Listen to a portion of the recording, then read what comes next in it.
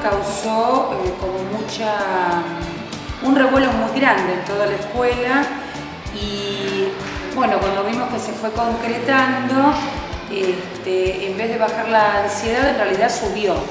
La ansiedad porque lo que queríamos saber es cómo lo íbamos a implementar, qué íbamos a hacer con, este, con esta nueva herramienta que se sumó a las herramientas que ya tenemos los docentes y los alumnos para trabajar en la escuela. Y me dolía el cuello y llamé a la doctora Vaca.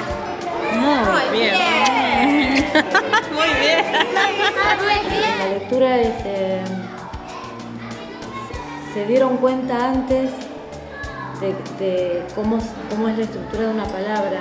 Eh, los nenes a la hora de escribir palabras no es lo mismo conectarse con el lápiz y el papel y escribir una palabra sin conocer el grafismo que tener todo el teclado y armar una palabra desde el teclado.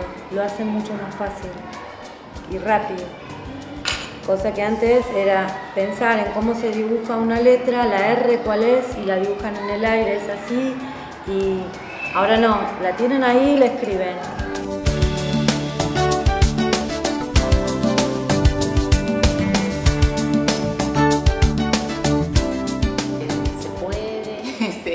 Se va familiarizando con la computadora, este, y bueno, hay cosas que podrán salir mejor y otras que no, pero bueno, este, si los chicos tienen que aprender, uno también como docente eh, también poder aprender.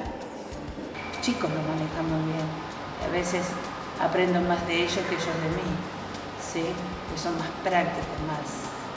Uno por ahí piensa demasiado lo que va a hacer y ellos van a la práctica. Si me equivoqué, lo vuelvo a hacer.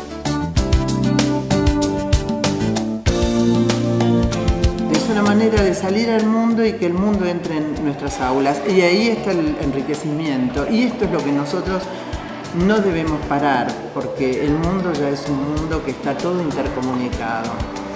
La escuela no puede quedar sola.